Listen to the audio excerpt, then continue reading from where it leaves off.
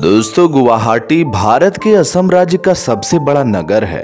प्रशासनिक रूप से ये कामरूप महानगर ज़िले में स्थित है। गुवाहाटी ब्रह्मपुत्र नदी के किनारे बसा पूर्वोत्तर भारत का एक प्रमुख शहर है। ये नगर प्राचीन हिंदू मंदिरों के लिए भी जाना जाता है। दोस्तों, Guwahati railway station station code G H Y Guwahati Assam शहर के केंद्र में स्थित है। ये भारत का पहला पूर्ण रूप से सौर ऊर्जा से चलने वाला रेलवे स्टेशन है। इसे एवन श्रेणी के स्टेशन का दर्जा प्राप्त है। गुवाहाटी रेलवे स्टेशन के ठीक पीछे असम राज्य परिवहन निगम का बस टर्मिनल है।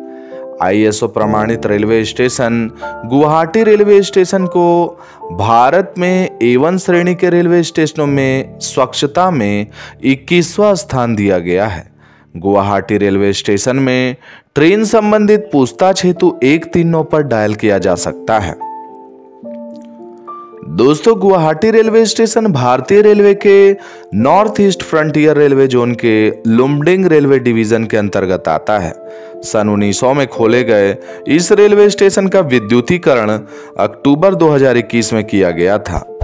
गुवाहाटी रेलवे स्टेशन के प्रमुख लाइनों में Barauni Guwahati line, Guwahati Lumding section, New Bongaigaon Guwahati section इत्यादि शामिल है। दोस्तों, गुवाहाटी जंक्शन पर यातायात को कम करने के लिए कामाख्या रेलवे स्टेशन, मालीगांव में शहर का एक और रेलवे स्टेशन है। लगभग सभी नई शुरू की गई ट्रेनें कामाख्या जंक्शन से चलती हैं। मेघालय के शिलोंग की ओर ट्रेन शुरू करने के लिए बेलटोला, जो कि गुवाहाटी के दक्षिण भाग में है, में एक नया रेलवे स्टेशन बनाने की योजना बनाई गई थी। गुवाहाटी रेलवे स्टेशन पूरी तरह से सौर ऊर्जा पर चलने वाला भारत का पहला रेलवे स्टेशन बन गया है। सौर पैनल स्थापना परियोजना अप्रैल 2017 में शुरू की गई थी। हाल के वर्षों में रेलवे स्टेशन को 100 फीट ऊँचा तिरंगा मिला है और ये उत्तर पूर्व भारत के किसी भी रेलवे स्टेशन में सबसे ऊँचा तिरंगा है। गुवाहाटी रेलवे स्टेशन में 80 लोकोमोटिव के लिए कमरे के साथ एक डीजल लोकोमोटिव सेड भी है। Shed W D M three D W D G four D W D G four और डब्ल्यू डी एस श्रेणी के इंजनों को रखा करते हैं। सेड अब W D P four D locomotive को भी रखता है। इसके अलावा रेलवे स्टेशन के पास एक कोच रख रखाव परिसर भी है। ये स्टेशन पूर्वोत्तर सीमांत रेलवे का मंडल मुख्यालय है। यह स्वच्छ और हरित वातावरण में यात्री सुविधाएँ प्रदान करने के लिए राष्ट्रीय ग्रीन ट्रिब्यूनल से आईएसओ प्रमाणन प्राप्त करने वाला भारतीय रेलवे का पहला रेलवे स्टेशन बन गया है। दोस्तों, गुवाहाटी रेलवे स्टेशन में सात प्लेटफॉर्म है। ये एनएफआर जोन की लंबी दूरी की ट्रेनों को संभालता है। गूगल ने रेल वायर के साथ मिलकर 2020 में फ्री हाई स्पीड वाईफाई प्रदान किया है। हालाँकि रेल टेल, जो कि रेल वायर की मूल कंपनी है, ने पुष्टि की है कि वह मुफ़्त वाईफाई इंटरनेट सेवाएँ प्रदान करना जारी रखेगा।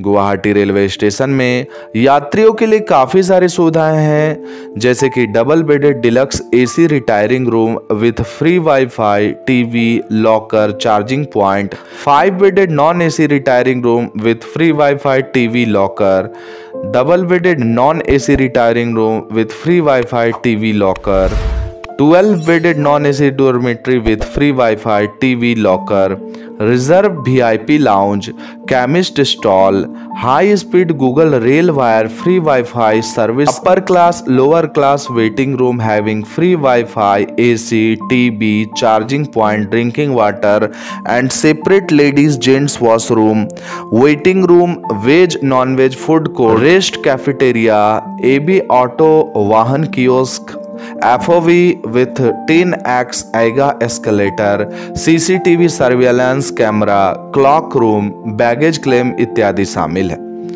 गुवाहाटी रेलवे स्टेशन में मौजूद इतने हाईटेक सुविधाओं के लिए एक लाइक तो बनता है। बात अगर ट्रैफ़िक की करें तो मैं आपको बता दूँ कि गुवाहाटी रेलवे स्टेशन से रोज़ाना लगभग अस्सी हज़ार पैसेंजर्स आना और जाना किया करते हैं।